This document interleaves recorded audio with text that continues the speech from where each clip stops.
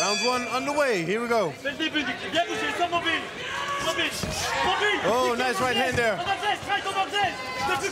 Connected well in the face. Nicky Covyn is coming forward. Bunka, high kick there. Right away and underhook. Oh! oh! oh.